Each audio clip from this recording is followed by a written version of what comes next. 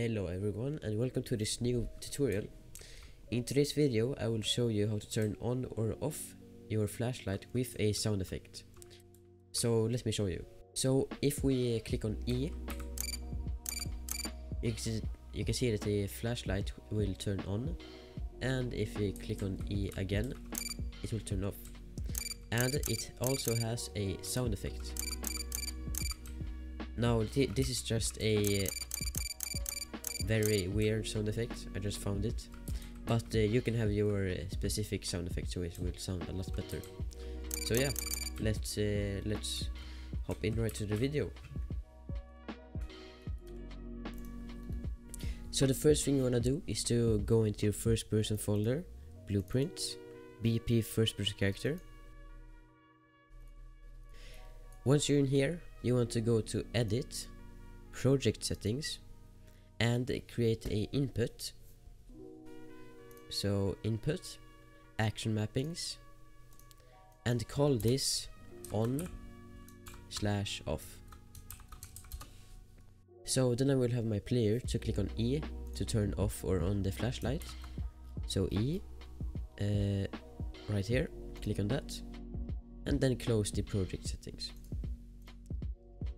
Once you're in here you want to click on event graph and type in on slash off. This is the input action we just made. Once you added the node, you want to click on spotlight and turn visible off, just like that.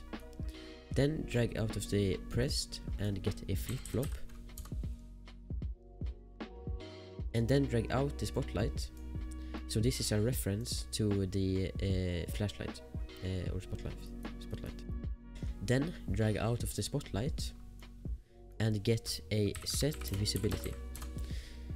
So this will make it so if we tick this, it will be new visibility, so uh, it will be visible to the player. But if you untick, it will not be visible. So out of A, drag in that right there, and B, drag in that right there. Oh, just like that. Then out of the spotlight again, drag it into the target. And when we press this once, we want it to enable, so the flashlight goes on and we can see it. So tick this, and untick this.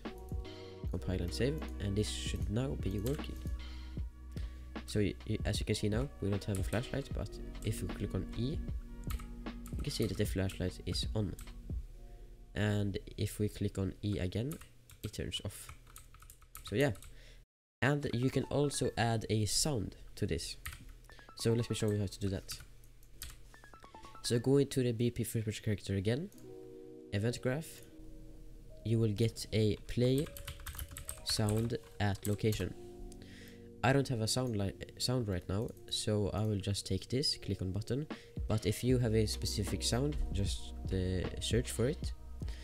So I will just take this for now for the tutorial. Then as you can see here, location, we want the spotlight location.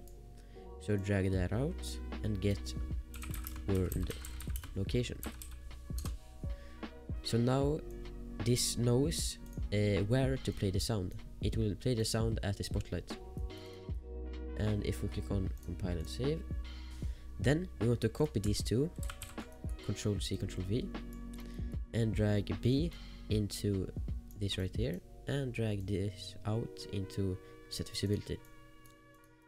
And drag the target to spotlight just like that.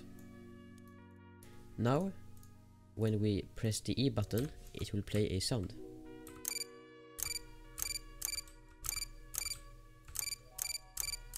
So yeah that is how you add sound to your uh, flashlight when you turn it on so thank you for watching and if you have any uh, problems just uh, type it in the comments and I will try to help.